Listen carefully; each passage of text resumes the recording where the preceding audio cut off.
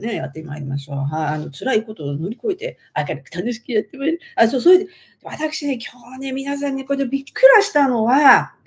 これ見ました？あの、新宿バスタ前の蓮舫コール。私、これね、いつ見たんだっけな？今日のね、午前中がなんかに見て、もうね、びっくらしちゃって。あのね、私ね、あのね、結構ね、東京のね、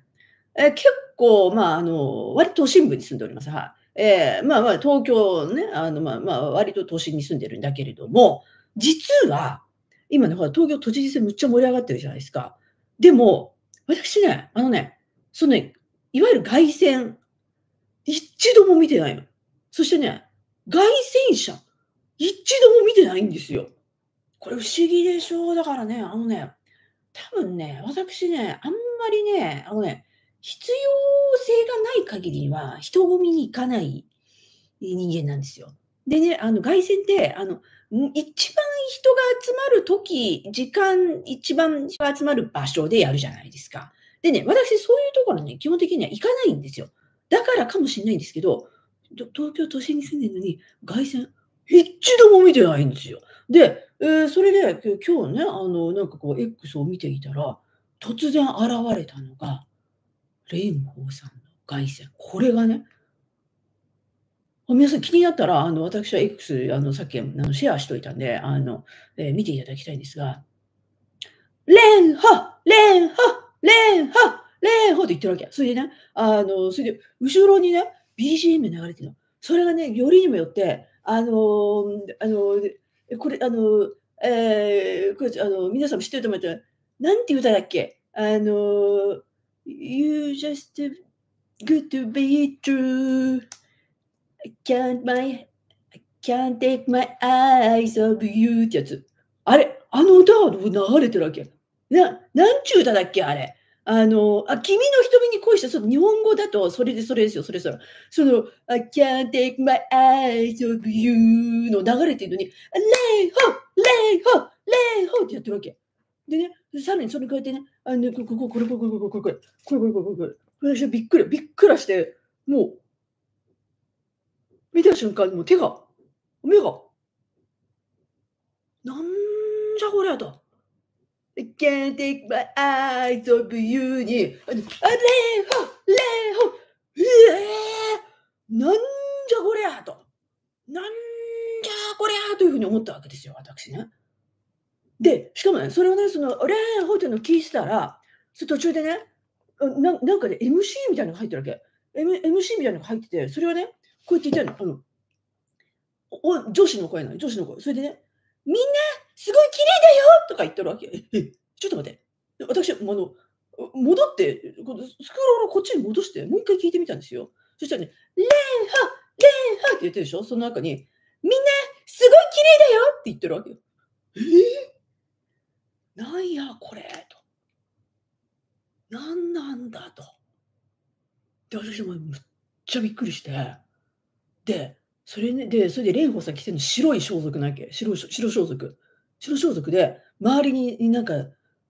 女子みたいなのがいて、でね、でね、私がびっくりしたのは、でここれ七夕仕立てなわけこれ、ま、なんかね、これ、これなんですよ。これ、これが蓮舫さんね。これ白装束じゃないですか。で、後ろ七夕仕立てなわけ。で、なんかこう、あの、なんかね、笹笹とか、こう、笹とかあったりとかして、なんかこう、あの、短冊みたいになったりとかして、白装束。あ、蓮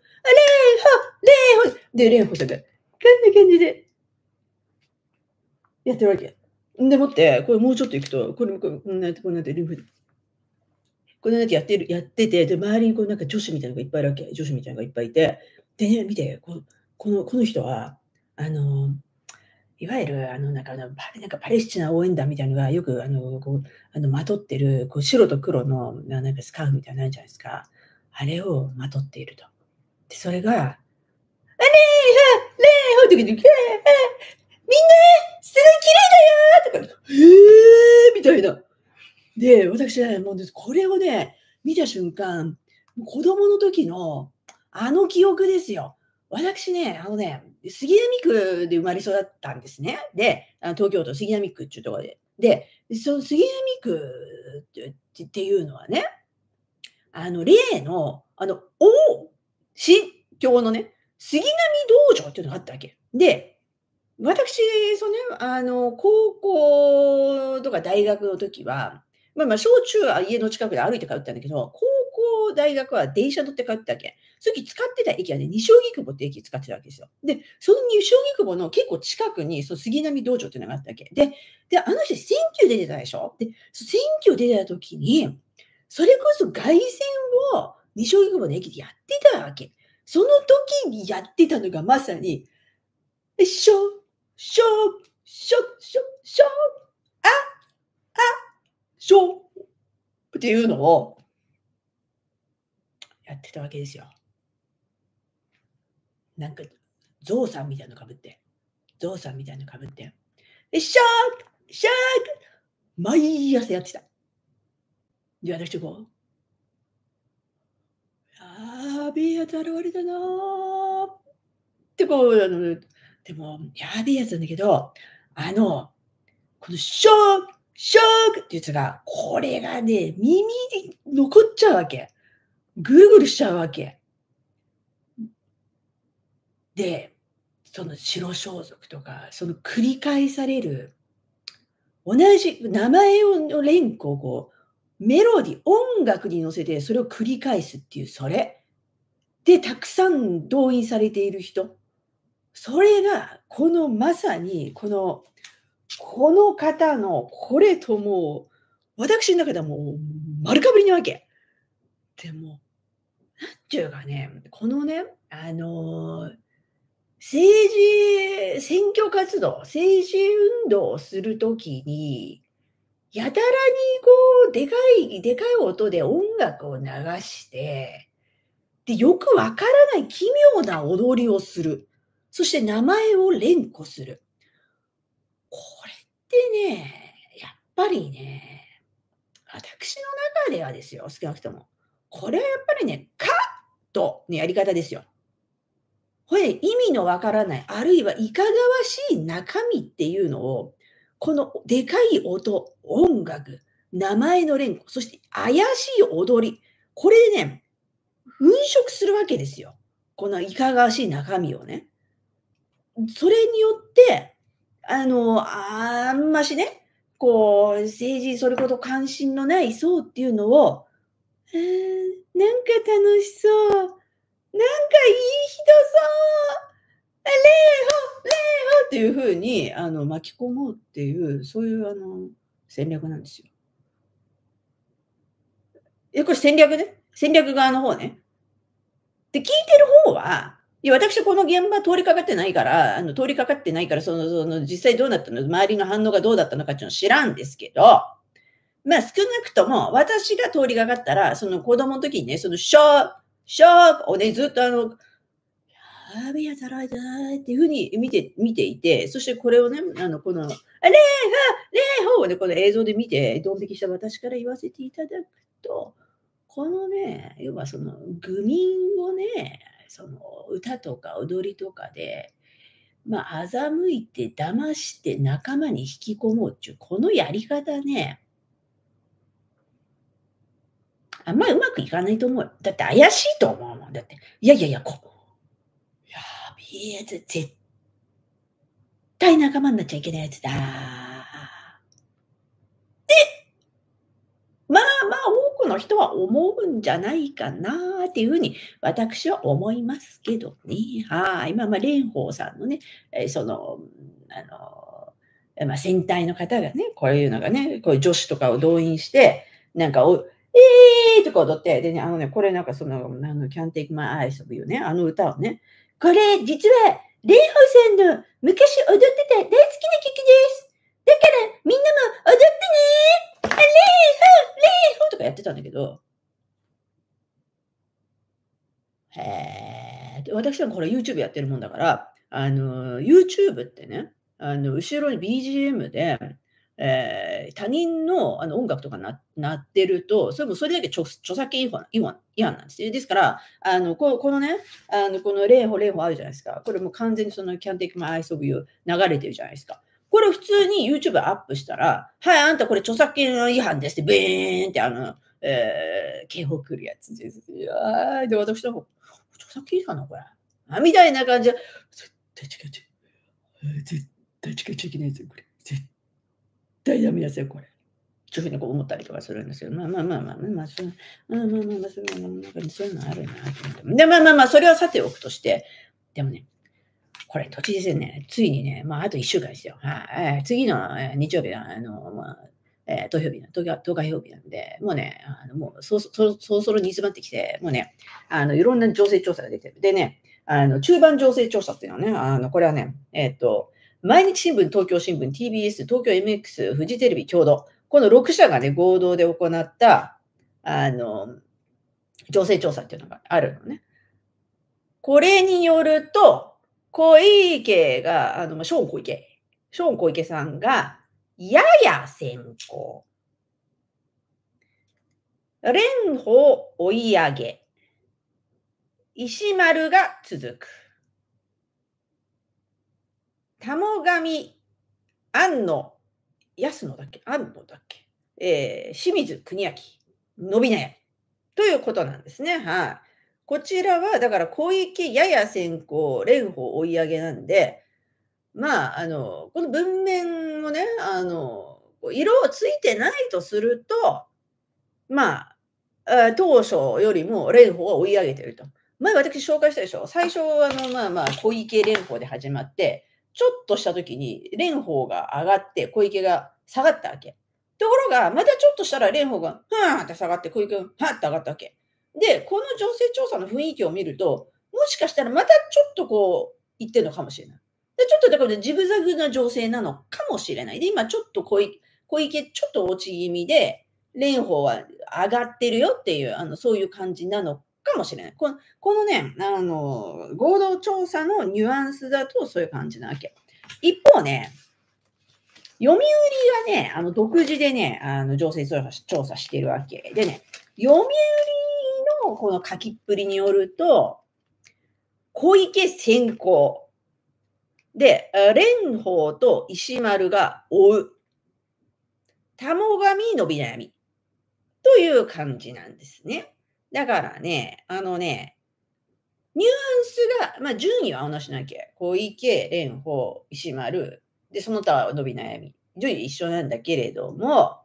えー、でも、あの、ニュアンス的には、えー、読売の方がえ小池はもう先から勝ってんね、みたいな。小池と蓮舫の、あの、まあ、間は、まあまあまああるね、みたいなニュアンスが、えー、こう読売ですね。でもね、読売はね、なんかとにかくね、自民層とか、えー、自民層はもう小池をがっつり固めて、あの、立憲民主の票も2割ぐらい食ってると、小池がね。えー、さらに無党派に関しても、まあ、3割ぐらいは、えー、小池だと。で、無党派3割って言っても無党派5割いますからね。だだいたい東京都民の半分は無党派なわけですよ。その中の3割を小池は抑えてるっていうのは、で、でも自民党層の、まあ、ほぼほぼ7割ぐらいかな。抑えてるっていうのは、これはもう、あの、で、公明党支持者の9割も小池に行ってると。ということはもう、もう、これももうぶっちぎり合う。っていうのが、その読売のね、あの感じなわけで、まあまあまあ、これ、情勢調査に関してはね、まあ、まあ、大体同じやん。どうせ小池やんみたいな感じじゃないですか。で、私が、今日皆さんにね、紹介したいのはね、これ、読売のね、あの、調査のね、あの、もう一個、こっちがね、私ね、これがね、結構ね、私個人的にはね、この調査ね、むちゃむちゃ刺さったっていうのがあるわけ。それはね、何かっていうとね、これね、あの、読売のその都民版ね、東京版に出てる記事なんだけれども、だから、あの、都知事選だから、その都民版はね、あの、都版、東京都版の記事は、あ都知事選に関してはかなり手厚くやってるわけで、これでね、読売の調整調査によると、まあ、これ誰に入れるかという話以前の件として、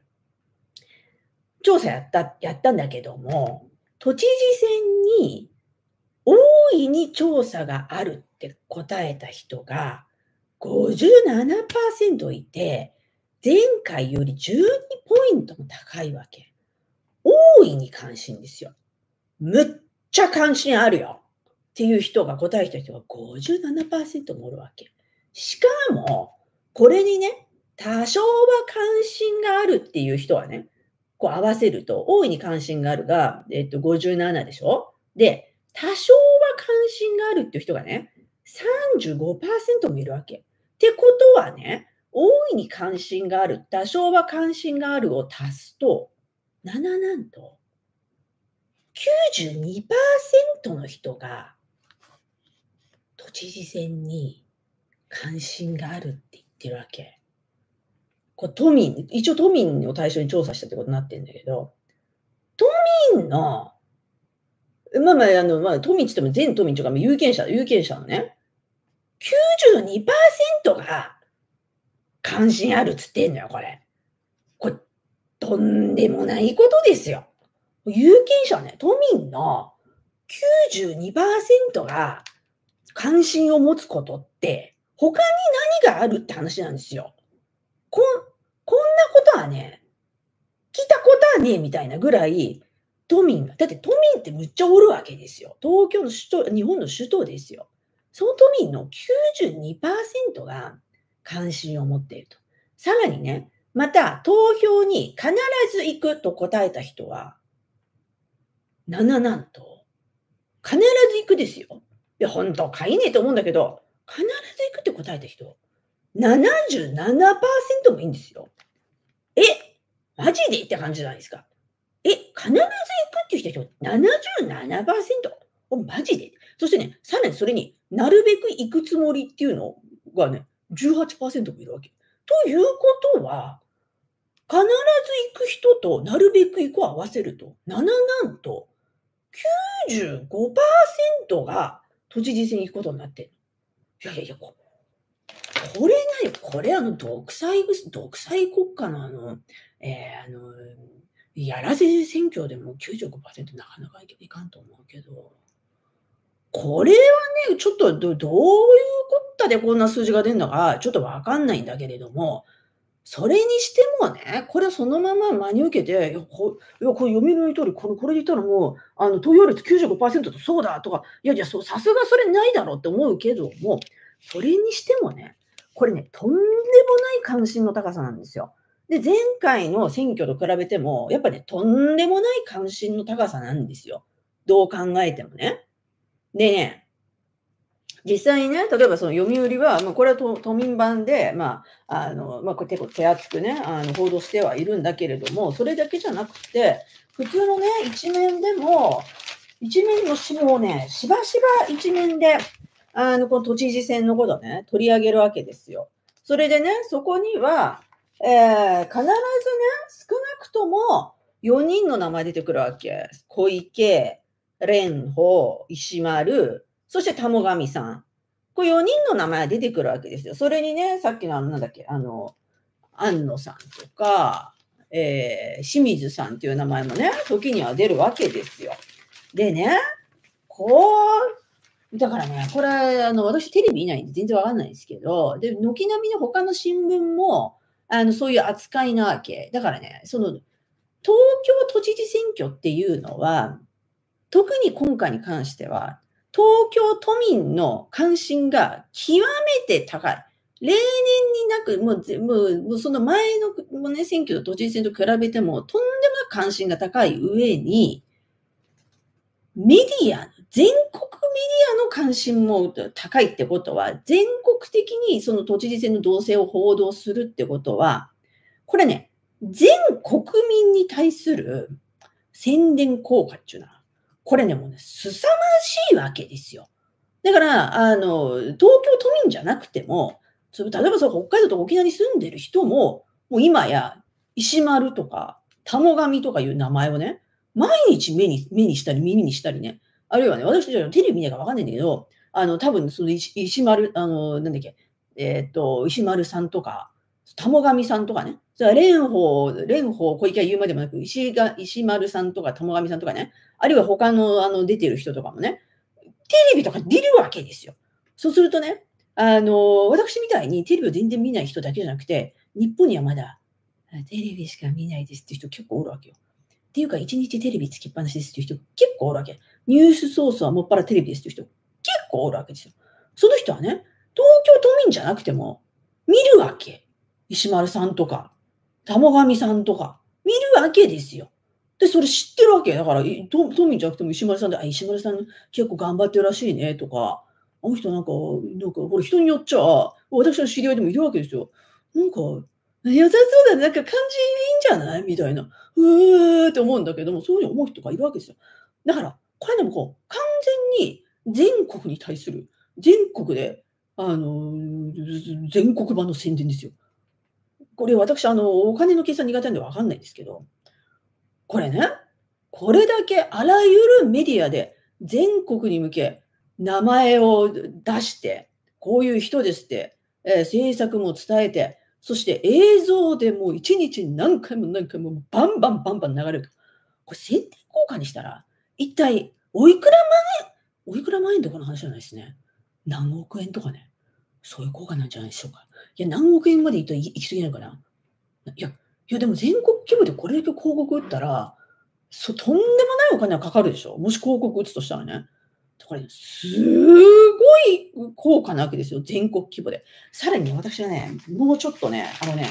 ちょっとね、個人的にね、ちょっとね、がっくし来たのはね、がっくし来るっていうのもおかしな話なんだけど、これね、東京都版のね、その読売の記事にね、こういうのがあるわけ。こっちにね、その、それぞれの候補者がどういうその選挙戦やってるかみたいなのが、書いてあるわけ。で私、全然見ないんだけども、その候補者の一回も見てないわけ。見てないんだけどね、いろんなとこでいろんなね、あの選挙運動してるわけ。例えばね、ある女性候補は、これあの名前出しちゃいけないから、ある女性候補とか書いてあるわけ。ある女性候補は小型船をチャーターし、江東区の河川を登った。狙いは川沿いのマンション住民。都内では900万人がマンションとアパートに住んでいる。マンションの防災は東京の防災そのものだと訴えると、ベランダから手を振る人もいた。え？えー、あ、これゆり子なんですか？これゆり子なんですか？私知らないんだけども。私、ちょっと正直、これを見て。都知事選、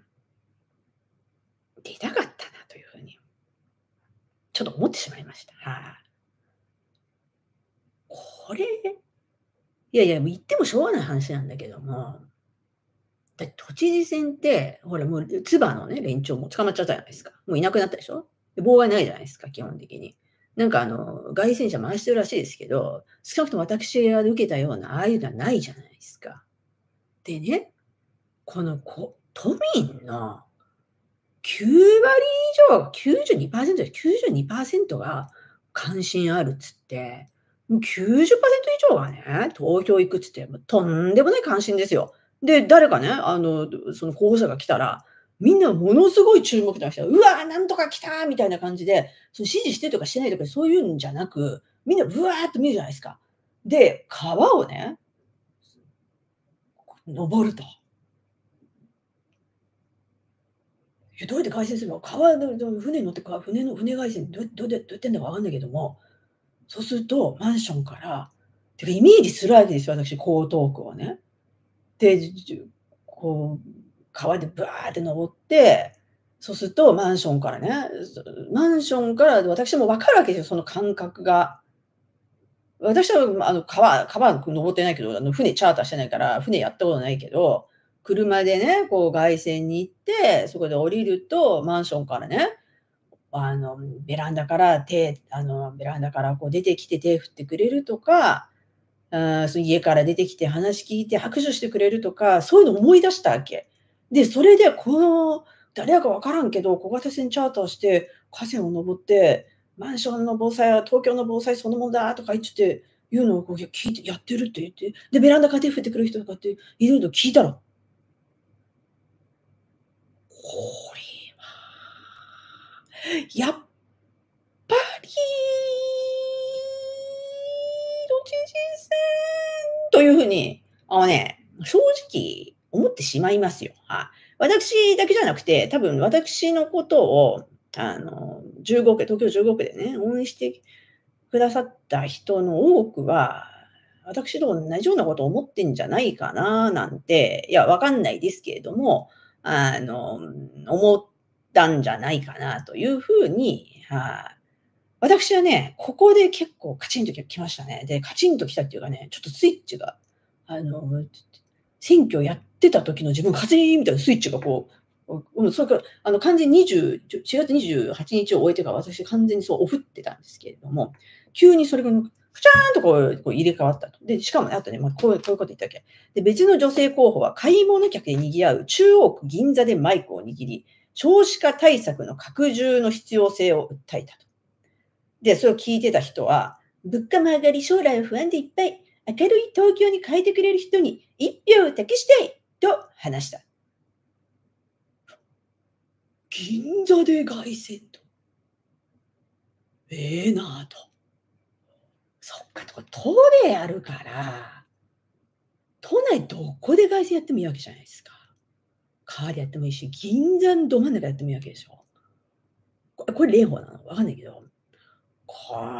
れは、銀座か。でね、銀座の他の人もやってるけ。銀座にある男性候補も訪れた。日本中がこの選挙に注目していると呼びかけ、自身への支持を訴えた後、聴衆とハイタッチを交わした。この候補はこの後、杉並区や中野区の駅前でも演説した。ハイタッチですよ。私もドエリアやりましたよ、ハイタッチ。ね、最初握手したんだけど、あの、握手を持と手が痛くなっちゃって、みんな腱鞘炎みたいになっちゃって、もう握手できなくなっちゃったっけ？で、それで、私もその途中からハイタッチに、でしかもハイタッチも超、超、超ハイスピードハイタッチってみんなに手出してもらって、私がこう、バババババって走りながらこう通り過ぎるっていうね、バババババって通り過ぎるっていうのやってたんですけれども、銀座で外線でハイタッチ。ええ、なぁと。ええ、じゃーんとね。えー、誰だかわかんないけど、これみんな名前隠したら誰だかわかんないんだけども。でね、あとこれこれもあるけん。マンモス団地を遊説先に選んだのは別の男性私ね、これ誰が誰だか本当わかんない。全然わかんない。わかんないけど、どうか。で、で、板橋区の高島平団地を選挙カーで回り、党を安全で豊かに暮らせる街にするのは、都知事の意思と情熱、候補者の中で一番あるのは私だと声を張り上げた。で、候補者と記念撮影した男性は、候補者の演説を聞く機会があまりないので、直接話を聞けてよかった。と、笑顔を見せたとか言ってあるわけですよ。これだから、みんなね、で56人いるわけですよ、候補者が。で、これ、これ誰のこと言ってんだか、誰が誰が誰かわかんないけども、またね、あの、全然あの、えー、あの、全然あの、えー、そういうね、外線とかね、全然やってない人もね、あの、いるんでしょうけれども、あのそれにしても、少なくとも何人かの人はね、一生懸命都内を、あの、あっちこっち駆けずり回って、えー、いろんな形でね、政策を訴えて、支持を訴えて、私に入れてくださいというふうにやってるわけですよ。で、それはね、あの、ただ、都内だけやって、都内でやってるんだけれども、その様子は全国に、全国のお茶の間に届けられていると。これはね、この様子を見るとね、いや、私、あの、さっきの蓮舫、蓮舫でもドン引きしましたけれども、それとは別にね、やっぱり都知事選はね、これやっぱどえりゃ大事だったなと。まだ終わってないんだけども、これどえりゃ大きいことだったんですよ。はい、というふうにね。はいあドンバイと言ってくれた人もいるんですけれどもね。あえー、まあ、そう、選挙は面白いって書いてる人いますけどね。そうなんですよね。やっぱりね、こう、盛り上がるんですね。で、私はね、個人的には、